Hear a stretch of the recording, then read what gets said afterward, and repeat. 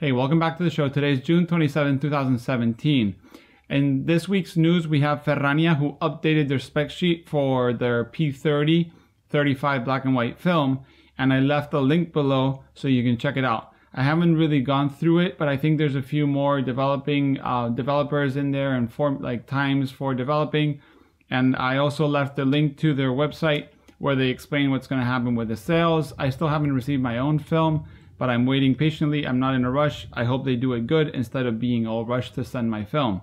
On another Kickstarter, there's a camera called Videre, V-I-D-E-R-E, 35 pinhole Kickstarter, which was a previous Kickstarter, but Kickstarter's done this thing called Pick a Kickstarter Gold, and their favorite projects are going to be redone. And this uh, manufacturer has made a smaller 35 pinhole that looks like a TLR and shoots on 35 millimeter film. News from the German film store macodirect which are the makers of the Rollei film, is a new chrome film called Vario Chrome. This film is an ISO 200 to 400 depending on how you want to shoot it. They say if you're going to shoot it as slide, shoot it as 400, but if you're going to scan it, you can expose it at 320 or 400.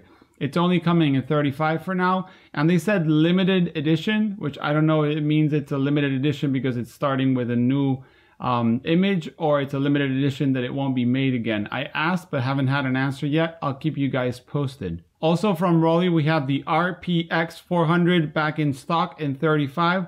Also from Maco Direct. So I left the link below. So if you want to buy some and shoot 35 um, ISO 400 in black and white, you can have that RPX back in stock now. Also, a few weeks back, I gave the news about Impossible's factory closing for refurbish.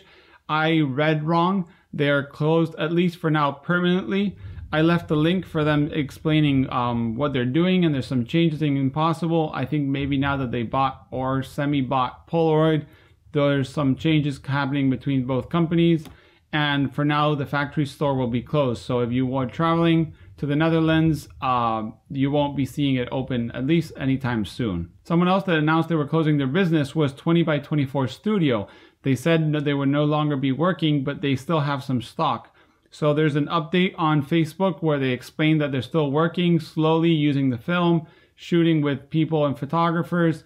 But they also say that we should all work towards um, smaller uh, peel apart films or Polaroid films or instant films, whatever you want to call it, but it's interesting because there's been a new 55 update which says that 20 by 24 studio that's being providing them the pods for their uh, Polaroid, uh, sorry, new 55 film, well, new 55 PN 4x5 film um, have stopped, gonna stop giving them the pods.